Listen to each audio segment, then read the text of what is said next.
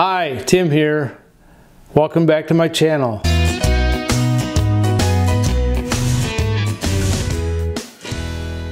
Today we're going to talk about uh, doing some, we're going to do a little outside project and I've got a piece of brick mold that I'm going to fit in where uh, some damage has been done by a squirrel or some some rodent has chewed away down at the corner of my garage door and I'm going to cut in with a, a tool that's called the Fein Multimaster tool. So I'm going to demonstrate how to cut in and replace a piece of brick molding.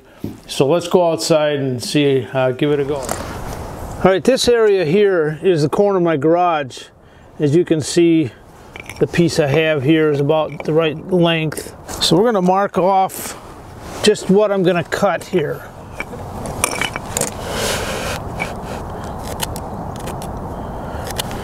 I like these little um, combination squares because you can adjust the depth. What I've got here is a wood cutting blade that I find and I'm oscillates back and forth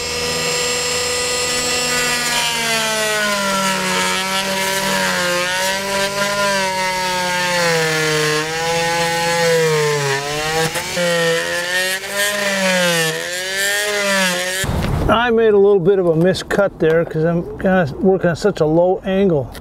So I'm going to go just a little bit above my first mark and start over. Can't keep doing this too big of a cut and I don't have a long enough piece.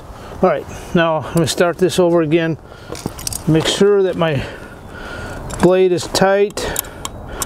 This is an older model one. They have newer ones that clip in and they're a lot better.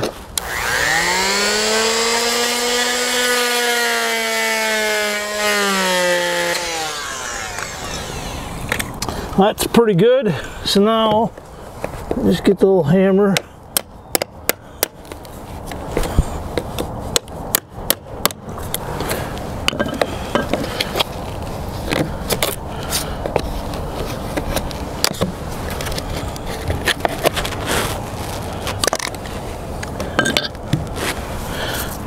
Good, that turned out pretty good.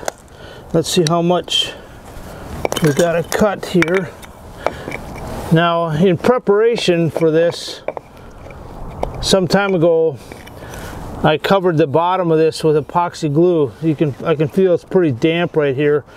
And this side of the garage faces north. Doesn't get much sunlight over here, so things don't tend to dry out real well. So now I'm just holding this here and placing a mark, and I'm gonna cut it strong I got my table saw set up outside, my portable one, so we'll just make a few cuts to make sure that we're close. Now let's go to the table saw. Okay, I got a Bosch table saw that is portable. I really like it for this kind of thing. I can move it around. And I forgot to put on my ear protection, but I will with the saw here. It's a little bit loud.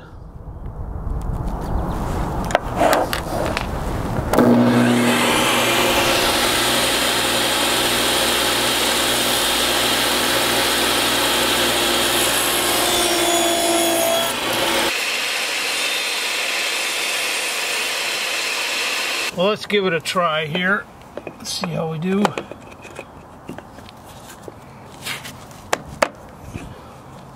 That's pretty good. Yep. Perfect. So what I'm going to do now is I'm going to mix up a little epoxy and put it on here and then pre-drill a couple of holes to run a couple of nails in. Alright, so I've mixed some epoxy here and I just put it on the top like this here just so in case water wicks in there and it's kind of protected from rotting again. Slip that in place. Make sure we're tapped in there good, okay.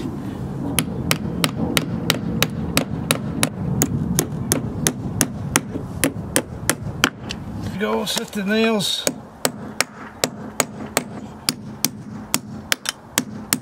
A little patch. This is uh, patch plus primer. probably best for indoor purposes, but it's what I got, so I'm using it here.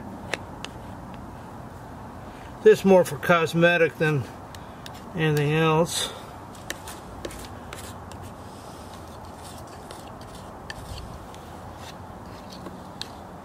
All right. I think we're good. At least it'll look good from the street. And I hope that rodent doesn't show up again and take another whack at it. So we're good. Today we covered just how to do a simple repair and this uh, Fein multi-tool can be used many different ways to cut in and patch in or cut something in place. Uh, if you like what you saw and you have questions, particularly if you have uh, follow-up things you'd like like me to respond to, just let me know. Give it a thumbs up if you if you can, and uh, subscribe.